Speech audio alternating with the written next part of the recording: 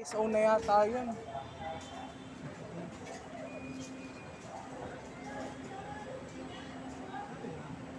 Ha? Museum? Oh, nasa iyo. Ay, nasa akin pala.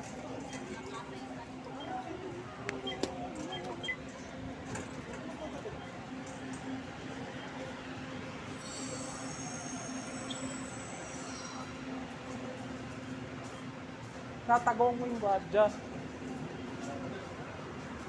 Sige po. Mm. Ay, opo nga. Buti na, napaalala mo. Patayin ko sa taas. Oh, buti. Lamig-lamig pa naman ang aircon.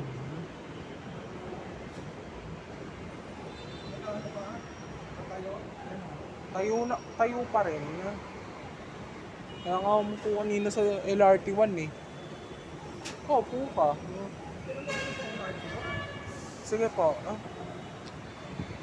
Sensya ka na ha.